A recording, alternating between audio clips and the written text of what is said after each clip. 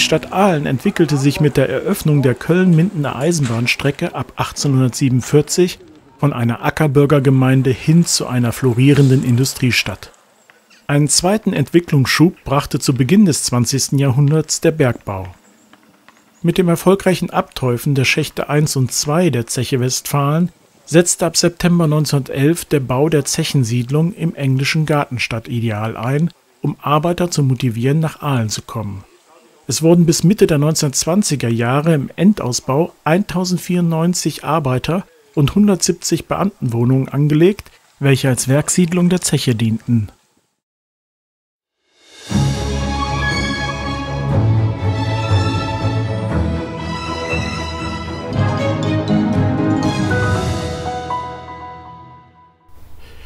Wir haben heute Marianne Schröder hier zu Gast bei uns im Studio. Ich freue mich, dass Sie heute hierher gekommen sind.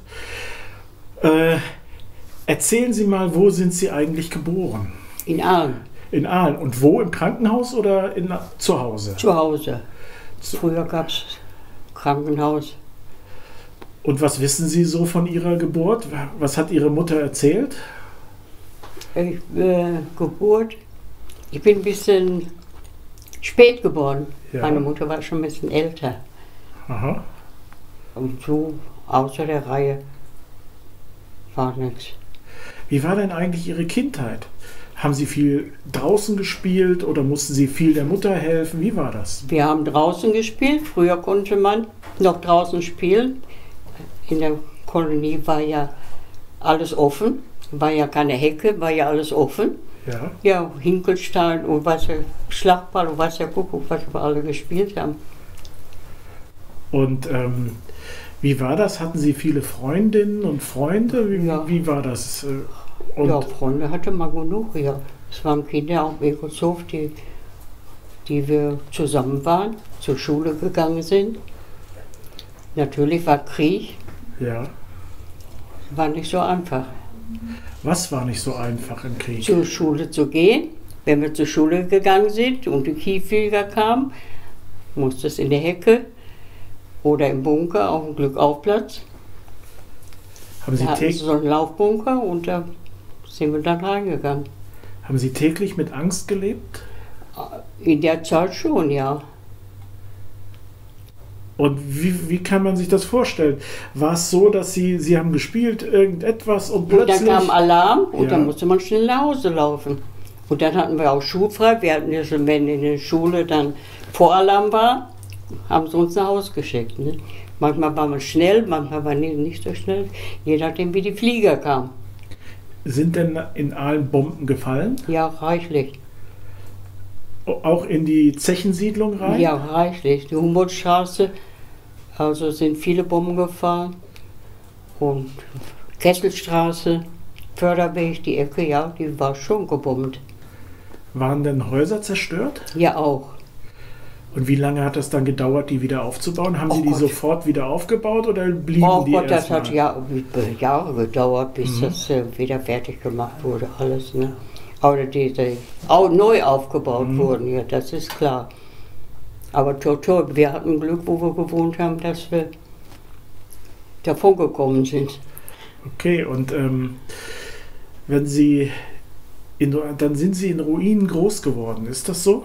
Ja. Sie, also Sie haben viel mit äh, Zerstörung zu tun gehabt. Ja, ja.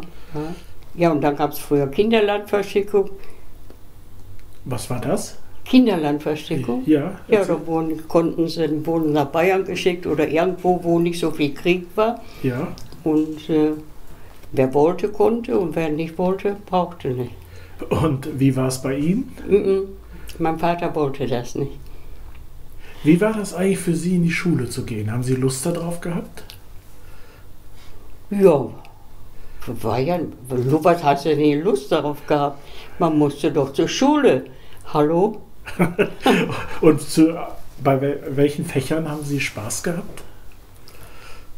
Oh Gott. Was nee, gab es überhaupt? Sie lieber nicht. was, was, gab es überhaupt für Fächer? Ja, genau wie heute. Ja? ja Deutsch, ach, Mathe? Mathe, ja. Ja, natürlich.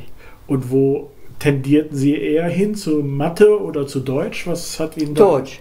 Da? Deutsch, okay. Und was hat Ihnen an Deutsch Spaß gemacht? Ja, also fehlerfrei schreiben. Aha. Und ja, also das hat sich beibehalten bis heute. Hoffe ich, dass es so bleibt. Ähm, früher war es ja noch so, dass man als Frau keinen Berufswunsch hatte, oder? Man wurde Mutter, oder war das bei Ihnen anders? Hatten Sie, wollten Sie irgendetwas werden? Ich wollte etwas werden, aber früher gab es, wenn man aus der Schule kam, musste man ja Pflichtjahr machen. Kennt ihr nicht? Nee, Pflichtjahr. ich bin ein bisschen Noch nie von gehört. Da musste man ein halbes Jahr Pflichtjahr machen Ja. beim Bauern oder, oder irgendwo im Haushalt helfen und so. Und dann hat man eine Lehrstelle gekriegt.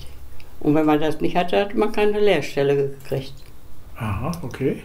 Aber da ich einen guten Doktor hatte, habe ich dann eine Lehrstelle gekriegt. Aha, okay. Ja. Und was haben Sie gelernt? Bei Bäckerei Helm. Bäckereifachverkäuferin. Aha. Und diesen Beruf haben Sie dann wie viele Jahre ausgeübt? Den habe ich, bis ich geheiratet habe, ausgeübt. Mhm. Und dann so zwischendurch mal ausgeholfen. Ne? Wo haben Sie eigentlich Ihren Mann kennengelernt? Im Schützenhof. Schützenhof? Erzählen Sie. Ich, ich weiß nicht so viel darüber, über den Schützenhof. Ja, das war ein Tanzabend und da haben wir uns kennengelernt. Und dann? Im Schützenhof. Dann haben Sie sich sofort verabredet und haben sich dann täglich getroffen. Ich weiß es nicht. Ja, täglich, mein lieber Mann. Wer konnte sich früher täglich treffen? Die haben alle nicht so gut wie heute. Musste man schon was arbeiten. Und dann am Wochenende haben Sie sich wieder getroffen. Schon mal getroffen, ja. Und, und Ihr Mann hatte auch was mit der Zeche zu tun. Ne? Ja, Was hat er gemacht beruflich da? in der Schmiede. Der ist äh, auf der Zeche angefangen, gelernt hatte, Bäcker. Ah. Und dann, äh, wie eine schlechte Zeit war damals, dann sind sie alle auf Zeche angefangen. Ne? Aber da hat man gut verdient. Ne? Hat man gut verdient und es gab da Essen oder Essenmarken oder was weiß der Kuckuck, was alle. Hm? Und bei der Siedlung war es ja dann auch so, Ihnen, das waren Zechenhäuser. Und Sie haben dann zur Miete in den Zechenhäusern Ja. gelebt.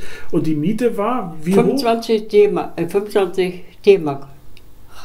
pro Monat? 25 Ja. D-Mark. 25. Für wie viel Quadratmeter denn? Wie viel haben die?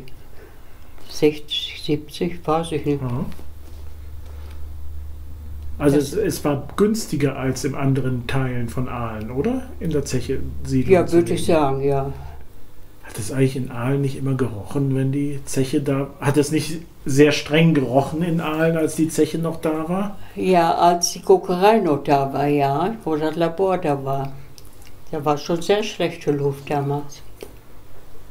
Und merken Sie das heute noch, dass Sie da Das- schlechte Luft gehabt haben? Nee, ja, weiß ich nicht, ob das, vielleicht hat sich das mit den Jahren, keine Ahnung.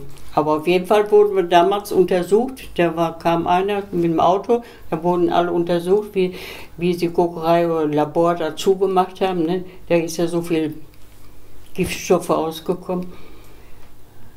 Ja. Sonst weiß ich nicht. Ich auch nicht. ich danke Ihnen für das, fürs Interview. Dankeschön.